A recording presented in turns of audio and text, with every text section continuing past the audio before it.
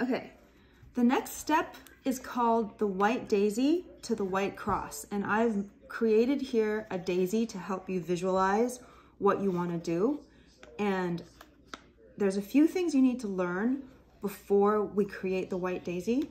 One is understand the difference between edge pieces and corner pieces. Edge, corner, edge, corner, edge, corner. So these are, this is an edge, this is a corner. This is an edge, this is a corner. This is an edge, this is a corner. When we create the white daisy, we're focusing on edge pieces only. Also, when you rotate the cube, only rotate the six sides. Don't rotate the middle um, because that's just going to confuse you as a beginner.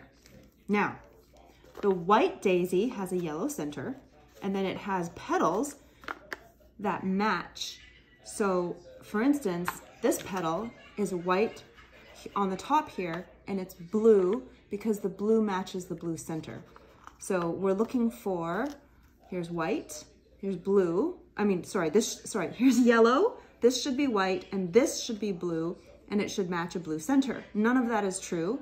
So you locate, oh there, locate the blue center, but this is actually in the wrong orientation. And we try to figure out how to get it into the right orientation by maybe moving it down to the side and then moving this side up. Oh, look, there. Blue, blue, white, yellow. So we've got one petal. Oh, here's another petal, red and white, but it's again in the wrong orientation because this should be white and that should be red. How do we flip it around? Well, first we bring this to the side and then we bring it, um, maybe let's try bringing it over to the middle. So sometimes it's just experimenting. Oh, I told you not to move the middle, sorry. Don't listen to me. Okay, and then I brought it up and then I rotate it back in place. So you always put it back. After each piece of the petal, you put it back. Put everything back. So white, blue, blue petal, white, red, red petal. Next, we locate the next one. Oh, here it is. Green and white. Uh, but if we moved it up, it would still it'd be in the wrong orientation. So well, I guess we do have to move the middles. Darn it.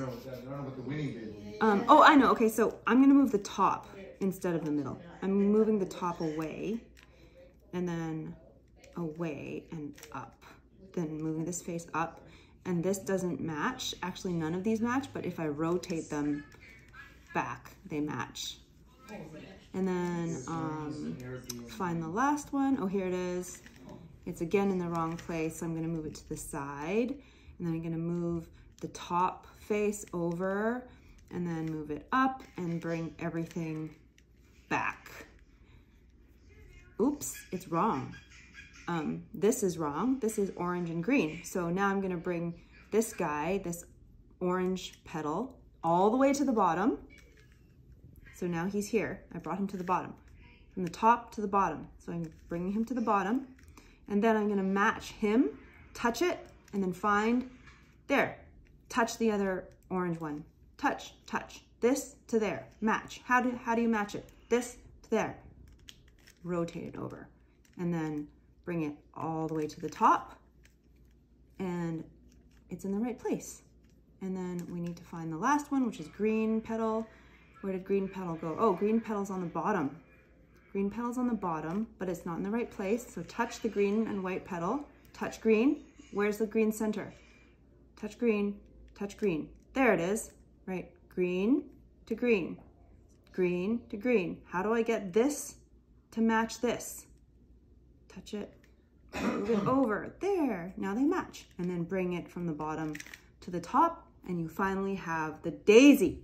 Now that you have a daisy with the edge pieces that match, you rotate all four edges to the bottom upside down so that you form a cross. So upside down, upside down, upside down, upside down, and flip, and you have a white cross.